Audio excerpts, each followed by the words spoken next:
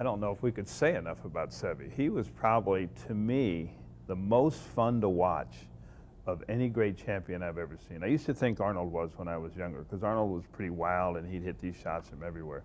But Seve was beyond belief. I mean, he was like an artist. He, if you put him in trouble, he'd hit these miraculous shots. You put him in the middle of the fairway, he's liable to miss the right bunker.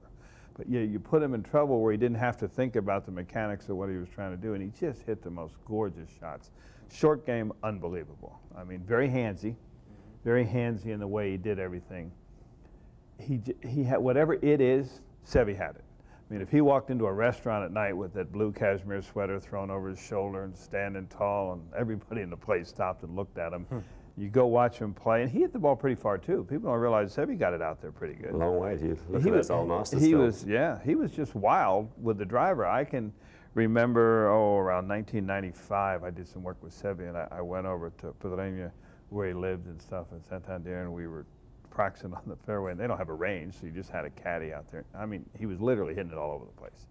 And I was talking about things in the swing, he's hitting it all over the place. And I, I remember saying to him, I said, well, don't worry yourself so much about your driver. I said, you never were that great a driver, even when you're winning all your championships. He goes, Butch, I drove the ball much better than everyone think I did. Don't tell me that. People didn't realize how bad his back was.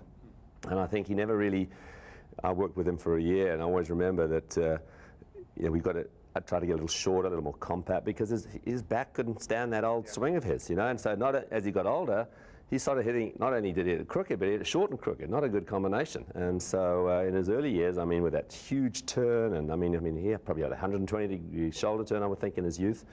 Uh, I mean, he hit it a long ways, as Butch was saying, but, uh, but he really didn't change his swing. And I think his mentality was such that, you know, that it, he, wouldn't, he wouldn't allow himself to make changes. He wasn't a mechanical type guy, he was purely feel.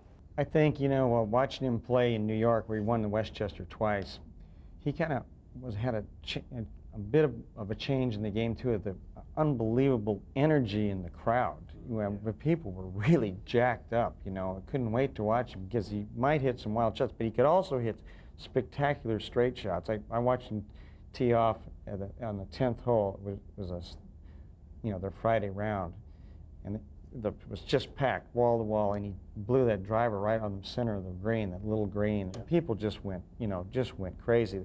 They love seeing him pull the head cover off, you know, and I think probably if he's playing in, in this era when he had the, the new stuff, how far he would have hit the golf ball and uh, what, what he could have done. He was he was to you know the short game though what you know Hogan was to ball striking. I mean that's that's what everybody you know besides the great recovery shots. I mean everybody tried to copy his short game, learn from his short game. He, you know, you, you always hear the stories about him, you know, pitching with a three iron, hitting lob shots with a three iron, and you know, at tournaments, everybody would want to watch him hit short game shots. He played shots with spin, and that was, you know, that was different. But he's just such phenomenal touch and just all the different shots he could play, and you know, he, he got in some really bad spots, so he had a, a lot of opportunities to to recover, and he did. And you know, it was impressive. I mean, you, whenever you'd go to a tournament, you'd, you'd, one of the things you'd want to do is, if he's practicing short game, you'd want to watch.